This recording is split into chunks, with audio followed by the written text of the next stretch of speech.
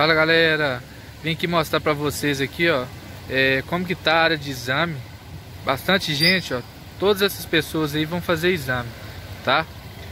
Aqui ó, olha lá, ó, o pessoal tá terminando de treinar, falta 3 minutos para fechar a motopista. Olha lá, as motos já estão paradas ali, ó, já estão parando.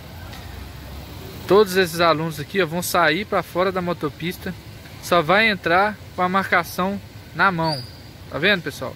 Só vai entrar com a marcação na mão. São mais de 300 exames hoje. Cada, cada aluno vai dar uma volta na motopista. Então é uma volta só, tem que estar bastante concentrado.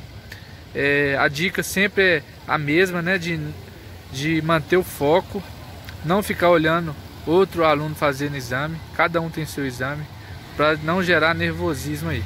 Eu vou trazer para vocês aqui é, um pouco mais desse exame. Daqui a pouco nós volta aí. Valeu? Aí pessoal, aqui ó, aqui tá os examinadores conferindo as motos, só tem instrutor aqui dentro agora, tá? E os alunos estão todos lá fora, só vai entrar quem tá com a marcação na mão, tá? Já começou a entrar agora, ó. Vai começar a entrar. Aqui são só os instrutores e as motos, tá vendo? Já tem examinador ali conferindo a moto fazendo a vistoria na moto e pegando a do documentação da moto. Daqui a pouco os alunos vão começar a entrar ali no portão. Aí é só aguardar o examinador chamar para poder fazer o exame. Na medida que der, eu vou estar tá gravando e trazendo aqui para vocês.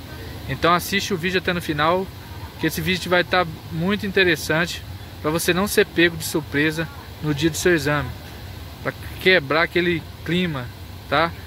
De você ficar na dúvida como que vai ser a organização aqui dentro. Então estou trazendo esse vídeo aqui para vocês, para ajudar vocês aí, tá? Ali é um examinador que está conferindo os documentos, beleza? Olha lá, os alunos começou a entrar agora, ó. começou a entrar, ó, pegando papel e entrando. É isso aí, boa sorte para todos os candidatos aí que vão fazer o exame. Sucesso para todos. Vai acompanhando, acompanhando esse vídeo até no final, vai ter várias dicas aqui para você conhecer como é feito o exame aqui em Contagem e na região metropolitana de Belo Horizonte. Então pessoal, aqui ó, já começou a encher aqui, ó. São 200 exames aproximadamente, tá? É, que o pessoal tá entrando, ó. Ainda não começou o exame, a autopista tá vazia, ó. tá? Só tá organizando ali. Então o aluno tem que ficar bem tranquilo, porque é muito aluno, isso que deixa o, o nervosismo vem por causa disso. A pessoa fica ansiosa sem saber o que está acontecendo, tá? Ali estão a moto parada, aguardando os candidatos, beleza? Então as motos estão ali, ó, só aguardando os alunos chegarem, beleza? A pista está vazia. Eu vou tentando trazer aqui imagem para você. É, fica ligado nesse vídeo, assiste até no final. Tenho certeza que vai te tranquilizar mais que você não vai ser pego de surpresa no dia do exame. Qualquer dúvida, deixa aí nos comentários, eu vou estar respondendo todo mundo. Valeu!